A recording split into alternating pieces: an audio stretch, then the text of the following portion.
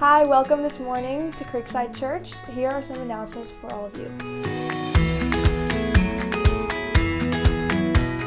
A few things coming up here at Creekside are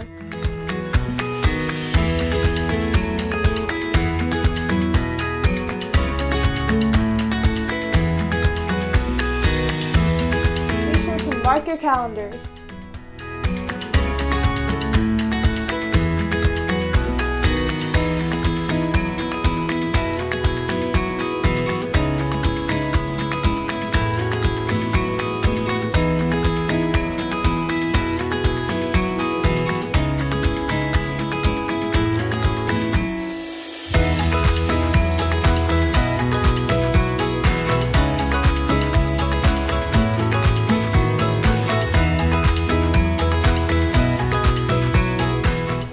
Forget to like and follow us on all of our social media platforms.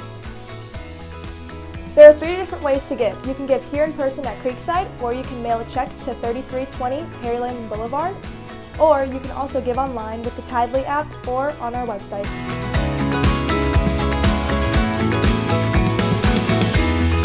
Let us know that you're watching by commenting down below on this live stream, or you can go to creeksidecb.org slash connect.